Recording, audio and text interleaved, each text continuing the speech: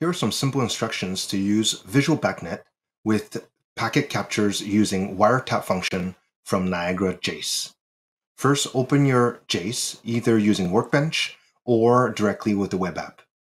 From there, find your BACnet network out of your driver, network under BACnet Comm, and under network, find your MSTP port. You may have more than one. You can see in this case, there's no wiretap plugin palette added to my MSTP port. First, bring up the palette, go to your BACnet util palette. If you do not see it here, you can bring it up.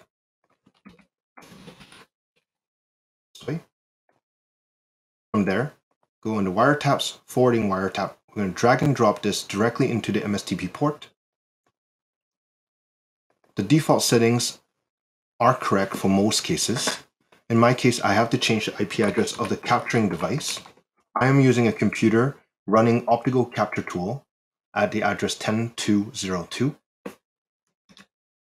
Please make sure to keep the port as 49000. Only that port number is supported by Visual BACnet. Visual BACnet uses port 49000 to identify packet captured to be a wiretap capture. From there, in this example, I will use Optigo's BACnet capture tool to capture these packets. You can already see that Wiretap is forwarding packets at 5 packet packets per second. Second, uh, by default, the Wiretap is enabled by default, uh, but if it is not, go ahead and enable it. Let us go to Optigo BACnet capture tool. If you need to install it, see our article on how to install it. First of all, I will add an API key to associate this capture tool with a folder in my Visual BACnet account. I'm going to go to my Visual BACnet account. If you do not have yet a folder that you want to use, go ahead and create one. I'm going to call it JACE demo in this case. Go into the folder and go to API key. And copy this API key and bring it into the capture tool. This associates this capture tool to the folder on the Visual BACnet server in my account.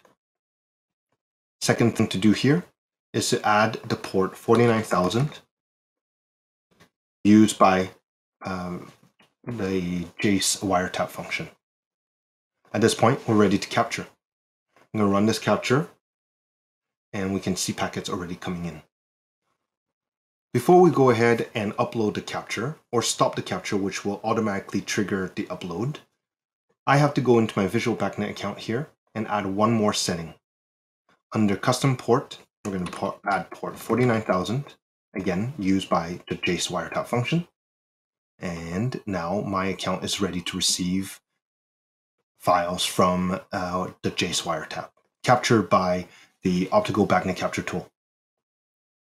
In this example, we will stop the capture after a short of two minutes in general, we do suggest using more than 20 minutes to capture data, valuable data.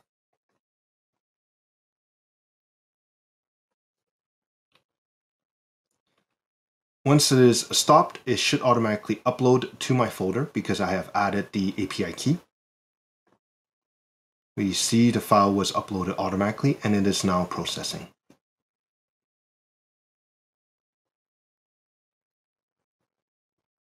And voila, we're logging in, opening the file that was captured using the JACE wiretap function, open in Visual BACnet, and here they are. Thank you. Enjoy this function.